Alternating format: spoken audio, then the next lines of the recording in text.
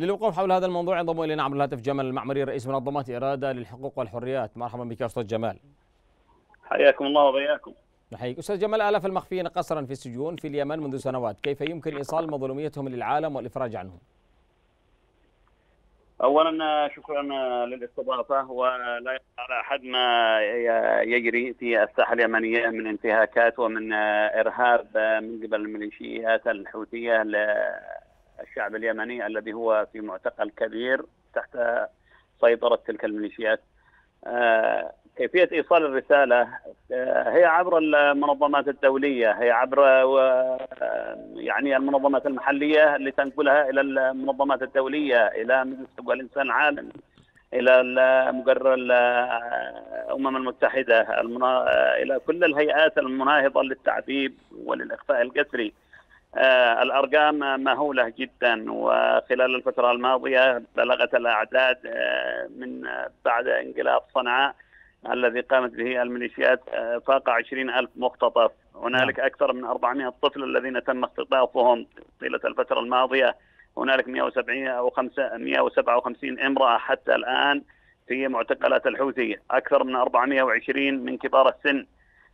ما تقوم به الميليشيات الحوثية من وضع المختطفين كدروع بشرية وآخرها ما رأيناه في كلية المجتمع بذمار والذي تعرض فيها لحياة تعرض لحياة العشرات للقتل بسبب وضعهم هدف لطيران التحالف بدون أن يبلغوا الصليب الأحمر نعم. أو أحد يعرف بمكان تواجدهم ينقلونهم من هذا المكان إلى الآخر في معسكراتهم وفي مخازن الأسلحة تسببت ميليشيات الحوثية أخي العزيز في أكثر من 3500 مخفي قسري طيلة الفترة أكثر معنا أكثر من من 300 مختطف حتى الآن ما زالوا مخفيين كسريا لا يعلم أحد مصيرهم نعم. احتلت العاصمة صنعاء المرتبة الأولى ثم تلت الحديدة وحجة والمحويت هنالك أيضا معنا صعدة وعمران يعني شبه تعتيم كامل عن وضع الإخفاءات التي حصلت منها نعم. لا ننسى حجور هنالك أكثر من 600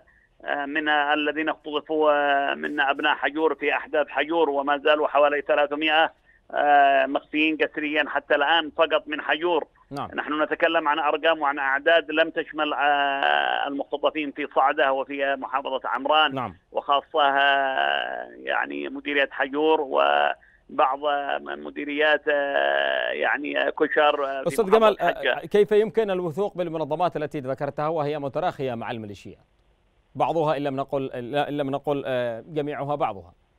نحن لا نتكلم عن تلك التي تعمل بوتيرة رضيها المتوكل ومن في صفها. أولئك الذين يزورون الحقائق ويردون الجاني هو الضحية والضحية هو الجاني. نعم.